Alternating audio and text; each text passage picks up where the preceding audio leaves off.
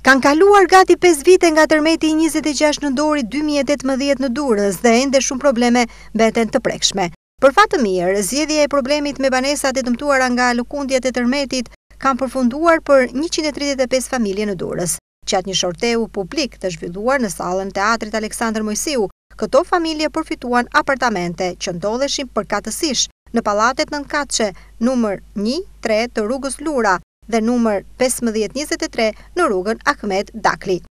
Gjithçka u realizua në kuadër të procesit të rindërtimit. Shorteu u organizua me gogla të mbyllura dhe, sipas rregullores së tij, të parët që i tërhoqën ishin personat me aftësi të kufizuara.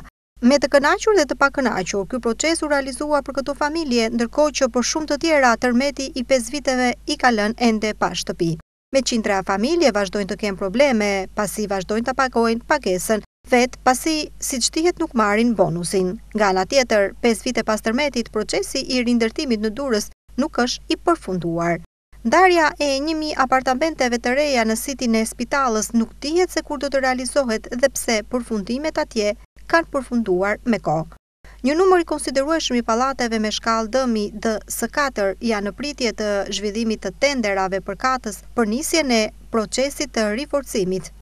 Kujtojmë se shumë herë pronarët e banesave kanë protestuar për zgjidhje të problemeve të tyre.